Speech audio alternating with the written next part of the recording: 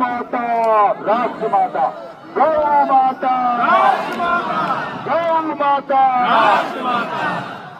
हमारे पूज्य पंडित धीरेन्द्र कृष्ण शास्त्री जी, जो हिंदू एकता यात्रा निकाल रहे हैं, बहुत बड़ा आशीर्वाद हनुमान जी महाराज का, बाबा जी महाराज का आज हम सब लोगों पर उतरा।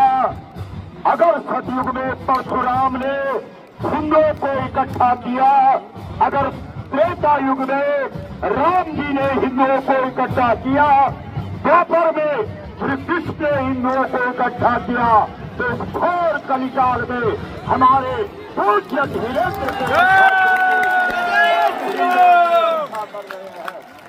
मेरे भाई बहनों ध्यान से सुनना। हिंदू की परिभाषा, तुम्हारे धर्म ग्रंथों में लिखी है।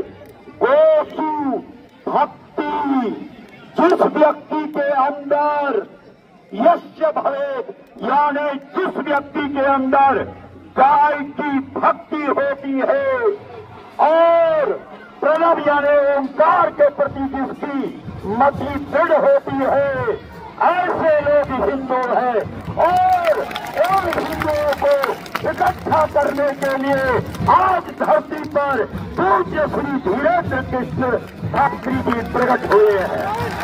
मेरे भाई ध्यान देना, अगर त्रेता युग में देवता बानर बन करके प्रकट हुए, द्वापर में देवता बॉल बॉल बन करके प्रकट हुए, उसी प्रकार से इस कलिकाल में और बिखरे हुए हिंदुओं को बात हम लोगों के साथ है, पूज्य धीरेन्द्र जी के साथ है, और इस देश के रामानंदाचार्य रामानंदाचार्य, माधवाचार्य, पूरे देश के आचार्यों ने प्रतिनिधि बना करके वीरेंद्र जी को आगे किया है।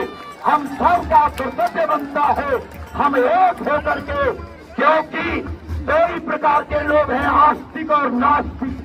आस्तिको आस्तिक व्यक्ति है, वो गौ के प्रति निष्ठा रखता है। जो नास्तिक है, वो गाय को पशु समझता है। इसलिए हमारे धीरेन्द्र जी ने जो ये पीड़ा उठाया है, क्योंकि हमारे यहाँ श्रीमद भगवत गीता में कहा, धर्म, क्षेत्र गुरु क्षेत्र, समवेता, युद्धवा। अगर ये चार शब्द हिंदुओं की समझ में आ गए तो सारी गीता समझ में आ गई। धर्म का क्षेत्र, कुरुक्षेत्र, यानी बाहर निकलना पड़ता है और कुछ करना पड़ता है। हमारे धर्माचार्य जब जब गुफाओं के अंदर रहे, तब तब धर्म की रक्षा नहीं हुई। धर्म की रक्षा के लिए धर्माचार्यों को बाहर निकलना पड़ता है और ये श्री गए श्री धीरेन्द्र जी ने कर दिया है। अब समझौता का अर्थ है इकट्ठा होना, अब हम सबको इकट्ठा होकर के और पूरे देश के सौ करोड़ हिंदुओं को जगाना है और इस देश के अंदर हिंदू राष्ट्र की स्थापना करनी है। माता की, गंगा मैया की, गौ माता गौ माता राष्ट्र माता, गौ माता। हम सब हिंदू, हम सब हिंदू। हम सब हिंदू हिंदू राष्ट्र की, हिंदू राष्ट्र की, बालाजी महाराज की, हर हर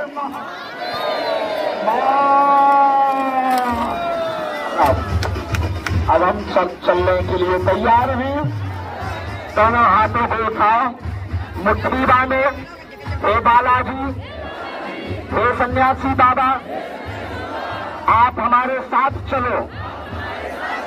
हे भारत के संतों, दिव्य आत्माओं, आप हमारे साथ चलो। हम पर कृपा करो। हे कुल देवताओं हे पितरों हे स्थान के देवी देवताओं, हम वचन देते हैं।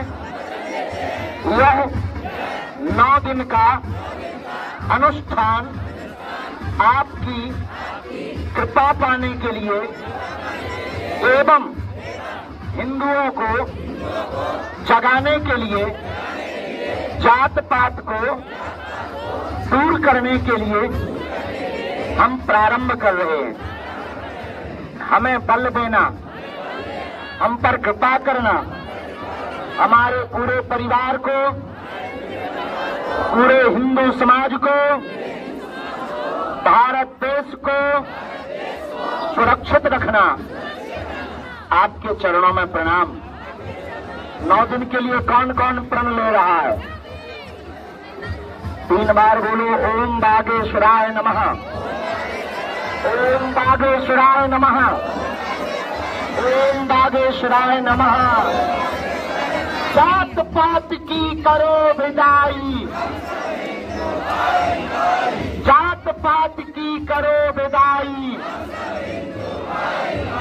अब हम लोगों को पीछे मुड़ के नहीं देखना है। हर हाल में नौवे दिन लक्ष्य को पाना है। ताकि पूरा भारत जाग जाए।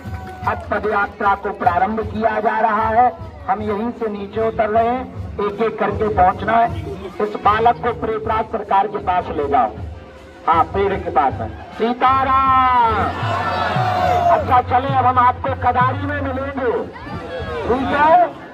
आगे गंद टावर फ़ोन लाइन के बाद में प्रसाद में मिलेंगे। जो भी कहना होगा, हम साउंड से कहते जा देंगे। अच्छे से चलना, पानी पीते रहना। जय सिया राम